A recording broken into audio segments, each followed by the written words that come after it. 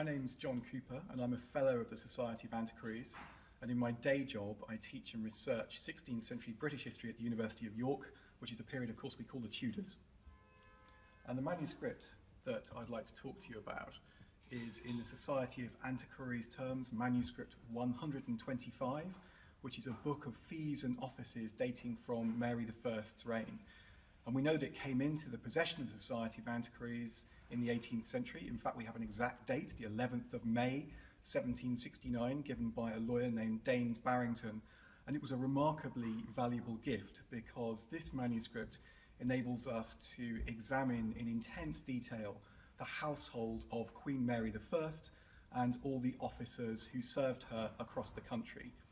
And the first interesting thing about this manuscript is its date. And the title page tells us that this was created on the 1st of August 1553.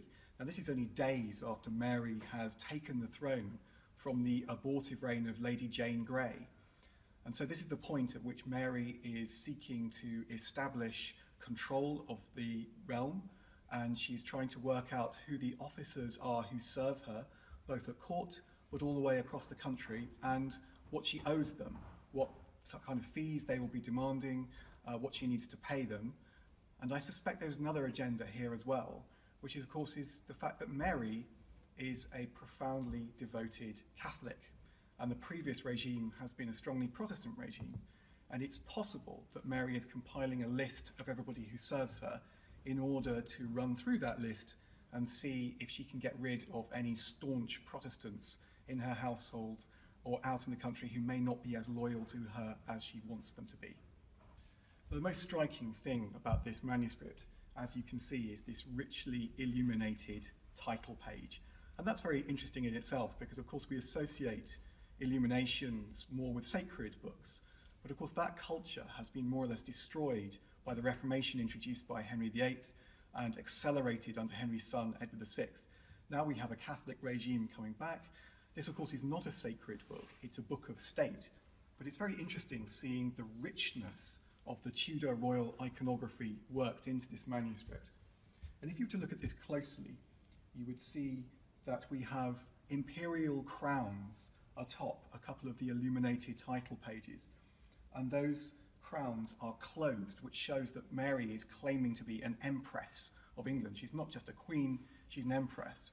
And the detail on these crowns is really beautiful. If you look very closely, you can see not only crosses, but fleur-de-lis worked into the crown. So these are actual representations of the crown of England.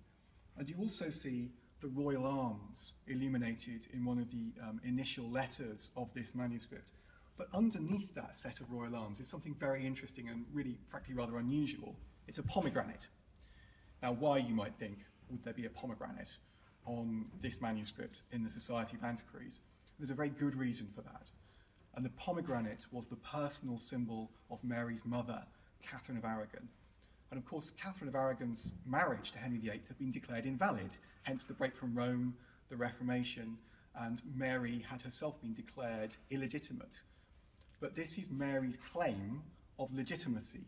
And if you look at this manuscript closely, you would see that the crown and the royal arms and the pomegranate appear in perfect alignment. The fact that these three symbols, the crown, the royal arms, and the pomegranate for Catherine of Aragon, appear in alignment suggests that Mary is making a strong claim, not only for her own legitimacy, but the legitimacy of her mother, who, of course, Henry VIII had, had cast off as his wife.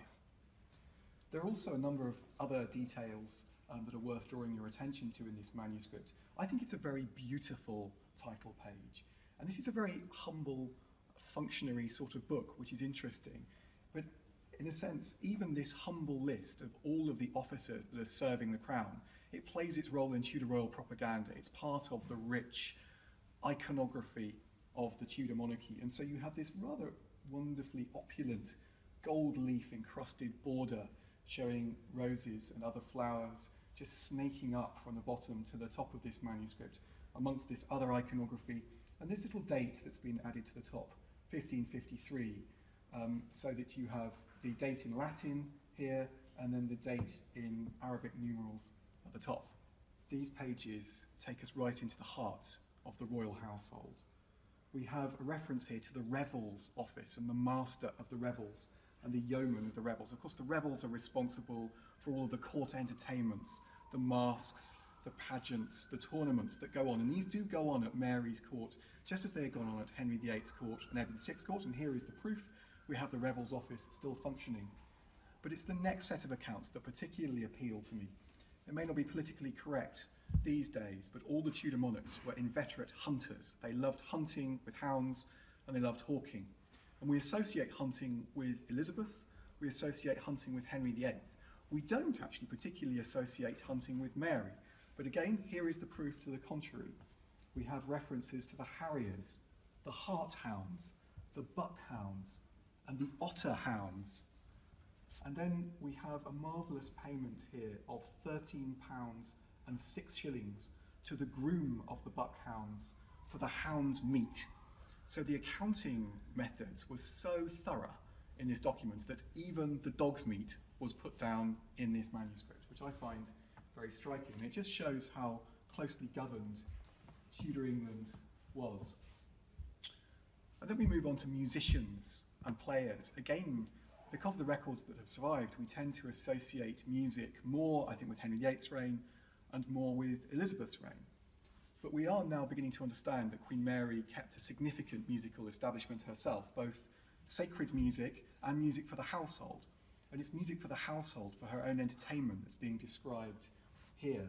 So we have trumpeters, luters, harp players, singers, and rebec players and sackbut players. Now, this is the reference when I first looked at this manuscript for the first time that really excited me.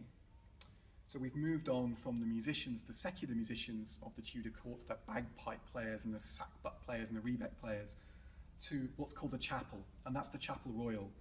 That's the musicians, the singers, the organists who sing mass for the Queen, of course the Catholic mass now again into Queen Mary's reign, uh, and they staff the chapels um, both of the London palaces uh, whether that's Greenwich or Richmond or the Palace of Westminster, but they also, the Chapel Royal, follow the Queen when she goes on progress and travel around the country. And there is a reference here to one very famous member of the Chapel Royal, and it's just here, and it's to Thomas Tallis. And of course, Tallis is one of the greatest of the Tudor composers. He survives all the way through from Henry VIII's reign, through Edward VI, Mary's, and then into Elizabeth's reign, changing the tenor of his music we know that Thomas Tallis was quite Catholic facing, but he actually manages to compromise his principles under Edward VI and compose quite Protestant looking music.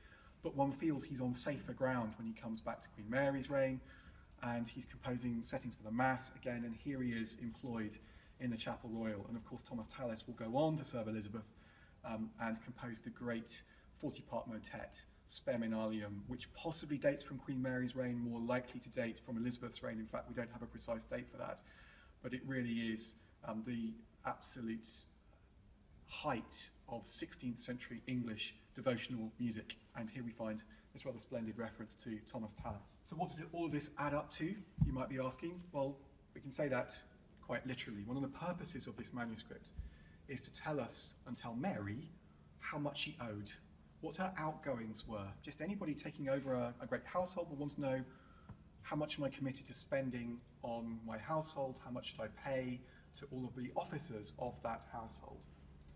And here we have the sum total of the officers and ministers of the household.